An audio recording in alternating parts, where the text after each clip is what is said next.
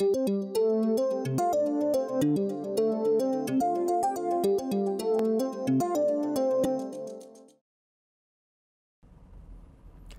right, so we've seen a couple of quantum mechanical problems so far, the, the free particle and the 1D particle in a box. Now let's consider a third problem, which turns out to be very similar to the particle in a box, uh, but with some important differences. So uh, that's going to be called particle on a ring for reasons that will become clear shortly, but mainly so that we can highlight the differences between the particle in a box and the particle in a ring. Let me just summarize a few things we know about the particle in a box namely that if we take a particle and confine it to a one-dimensional box between 0 and a on some axis, then uh, the particle has some wave function. There's a lot of different wave functions I could have drawn. Each of those wave functions has to hit 0 at the edges of the box. those wave functions had a particular mathematical form and they have a particular energy. And again, each one of those different wave functions, n equals 1 or 2 or 3, has a different wave function, has a different energy. So that's, that's what we know about the particle in a box. Now let's consider a different problem. Let's consider still confining our particle to a one-dimensional line, but now let's take that line and let's bend it bend that line around all the way until it forms a circle. So I could say still length A, but now that length is the circumference of a circle. So if I want to describe where the particle is, instead of describing where it is along the x-axis, I'll just describe at what angle I find it. So this circle has some radius r, and I can use theta to describe the angle to describe where I am around that circle. I'm still going to have a wave function. I'm going to have a wave function that depends on the coordinates of the particle. Now, because the particle can be anywhere in, in the plane of the board, it feels like a two-dimensional problem. But because if, if I'm confining the particle to live on the, cir the circumference of the circle, r has to be constant. So the only variable that's allowed to change is theta. So it's still a one-dimensional problem, but now I'm describing where the, the uh, wave function is as a, the value of the wave function is a function of theta rather than as a function of x. So that's one of the first uh, differences between this problem and the particle in a box problem. We can see now why it's called particle on a ring. Particle is confined to this ring. We could have called it particle on a circle, or if uh, we've got this string that we've now wrapped around into a circle, we call it particle on a, on a rope. There's a lot of different names you could give to this particle. We'll call it particle on a ring. Some people call it particle in a ring. So we're going to have a wave function that depends on theta. Uh, the boundary conditions, the thing that for a particle in a box required the wave function hit zero at the edges of the box, that's no longer required. The, the wave function doesn't have to hit zero at the edge because there is no edge of this box. If I have a wave function that starts somewhere and oscillates as it goes around the circle, let's see, All I need is that when I get back to where I started, notice I made these two curves join up. So really what I need to have my boundary condition is that when I get back after one full lap, back to where I started plus one full revolution of the circle, that needs to have the same value as when I started. Otherwise, if I came back and missed, if I came back at a different value than when I started, I wouldn't have just a single uh, function. I need to have the same value on every trip around this loop. So that's the boundary condition that's going to replace the zero at the edges boundary condition for particle in a box. So that's another difference between this problem and the particle in a box problem. If, and I'm not going to go through the solution in detail, I'll skim through the details of this particle on a, in a ring problem because we've already seen something very much like it in particle in a box. But if we solve this problem, we still need to write down the Schrodinger equation. I'll write that down for us, and then I'll explain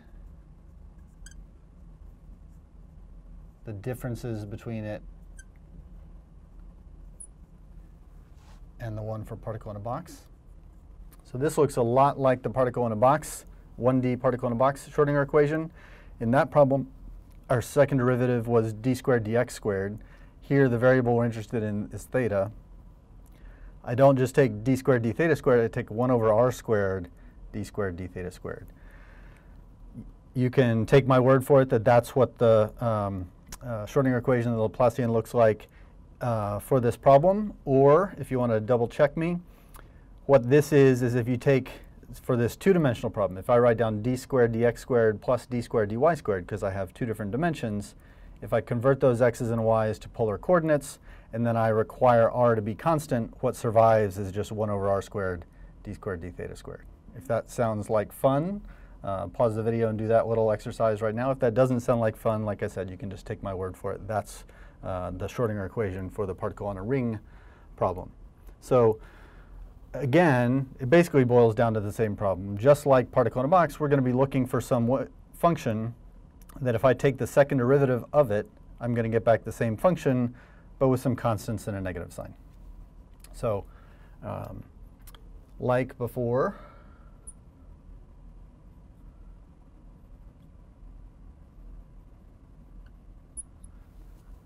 function, a function whose second derivative is the negative of itself is trigonometric functions like sine. So sine of uh, some constant times theta is still going to be a good solution. Unlike the previous case,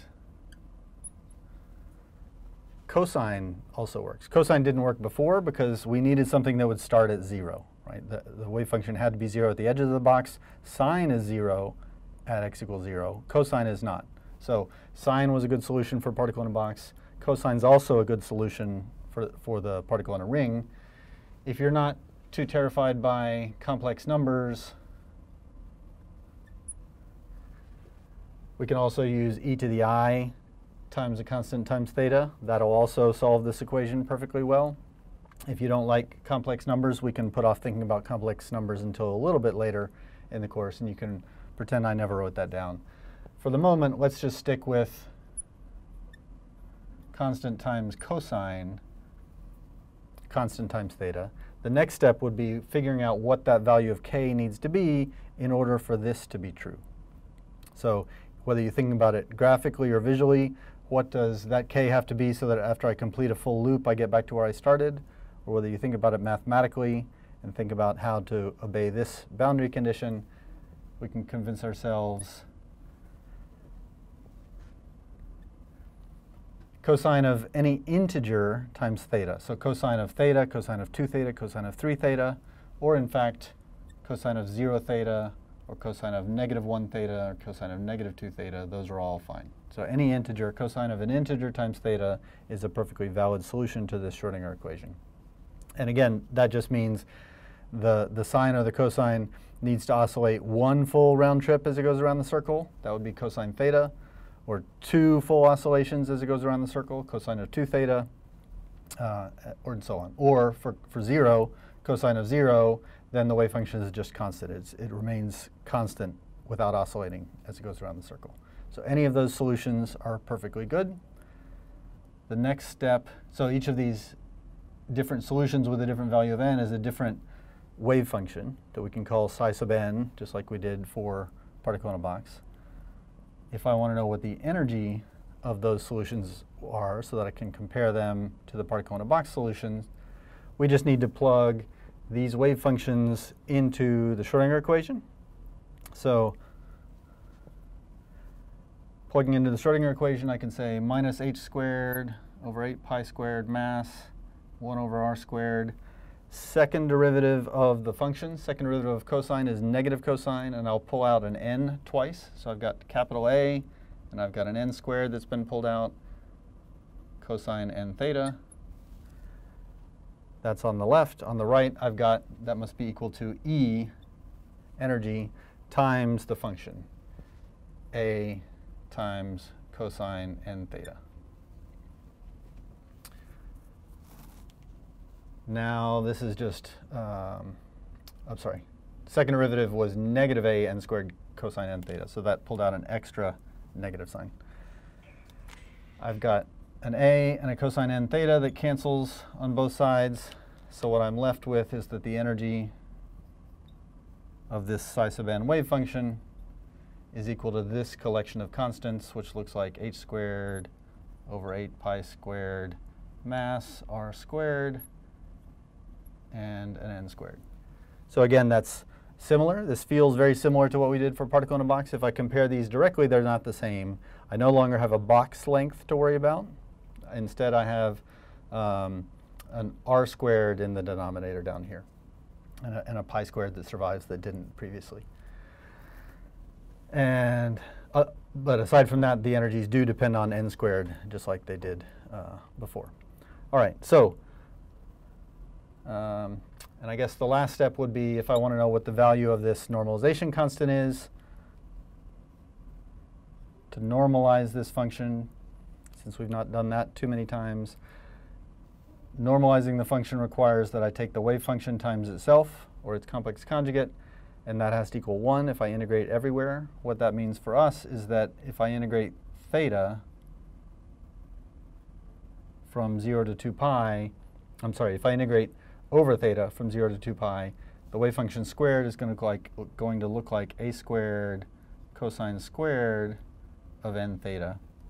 If I care about what the, the normalization constant is, I would have to complete this integral, uh, solve for a, and that tells me what the normalization constant is. It doesn't end up being square root of 2 over a, as it did for particle in a box.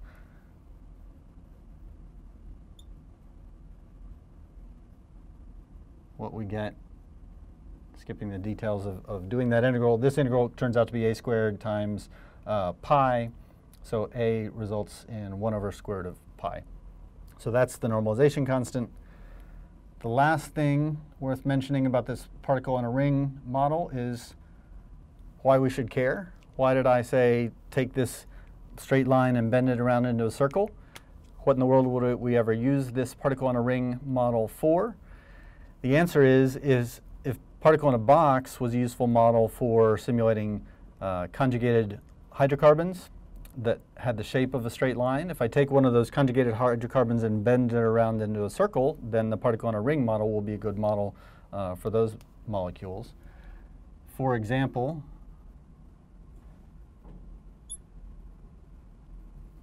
a conjugated hydrocarbon bent into not a circle but a hexagon would be benzene. And there's a variety of other um, um, cyclical molecules that we could use as applications for this particular model. The reason it's worth talking about benzene as an example in particular, let's go back and look at what these energies are. If I draw a graph, a chart of the energies of these molecules, the n equals zero solution has an energy of zero times some constants. So the energy of the ground state's down here, there's two states, n equals 1, n equals minus 1, that have the same energy as each other. And then somewhere up higher, there's two more states, n equals 2, n equals negative 2, that have the same energy as each other. So some of our states are, are degenerate. There's two states with the same energy at this level and at this level, but the ground state is not degenerate. There's only one state. If I were to start filling these states with electrons, Notice that I fill up the first level after putting six electrons in. Not coincidentally, benzene has six pi electrons. So the six pi electrons in benzene occupy these lowest uh, um, wave function energy levels that correspond at least approximately to these particle in a ring energy levels. So the reason benzene is a very stable aromatic compound is because it fills up uh, the ground and first excited state you may remember from an organic chemistry class, Huckel's rules about aromaticity specify that if you have 4n plus 2 electrons, a molecule will be aromatic. And that is a consequence of this um, particle on a ring model. Two electrons per energy level, 4n plus 2 electrons is like 2n plus 1 energy levels. So if I fill uh, up to here, six electrons gives me an aromatic benzene molecule. If I fill one level higher, I would need 10 electrons to make the next aromatic ring size. So Huckel's rule about aromaticity is really an example of the particle on a ring uh, quantum mechanical model.